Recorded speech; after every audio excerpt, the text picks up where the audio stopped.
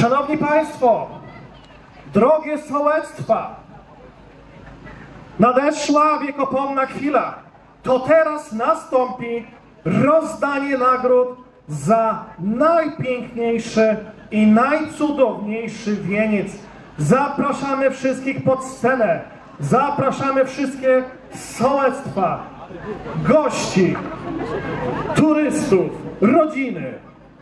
Wszystkich, wszystkich zapraszamy pod scenę. To będzie wyjątkowy i podniosły moment.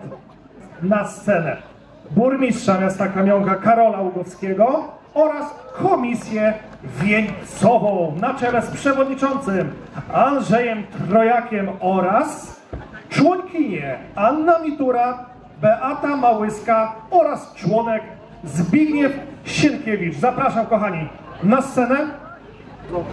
Szanowni Państwo, zanim odczytam oficjalne wyniki w konkursie e, na najpiękniejszy wieniec dożynkowy, chciałbym poprosić e, tutaj na scenę po jednym przedstawicielu z każdego sołectwa, które przygotowało wieniec dożynkowy. E, Szanowni Państwo, czekamy jeszcze na dwóch przedstawicieli i opiekuna zespołu Sokół, ale już może w międzyczasie zaczniemy przedstawianie wyników. Odczytam w tym momencie protokół z posiedzenia Komisji Oceniającej Wieńce Dożynkowe podczas dożynek gminno-parafialnych w Kamionce w 2023 roku. Komisja konkursowa w składzie Andrzej Trojak, przewodniczący komisji, Anna Mitura, członek, Beata Małyska, członek, Zbigniew Sienkiewicz, członek komisji.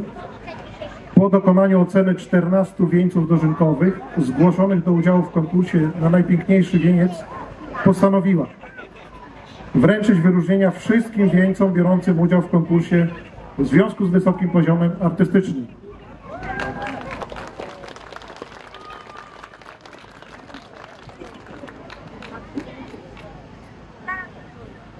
Y, Ale oczywiście wyłoniliśmy też zwycy- zwycięzców tego konkursu.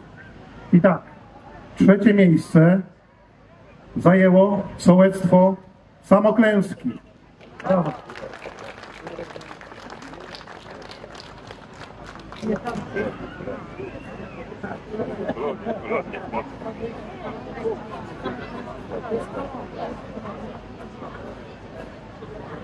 Drugie miejsce zajęło sołectwo Biadaczka.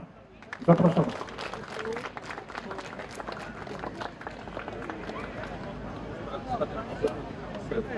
I zwycięzcą tegorocznego konkursu zostało sołectwo Starości.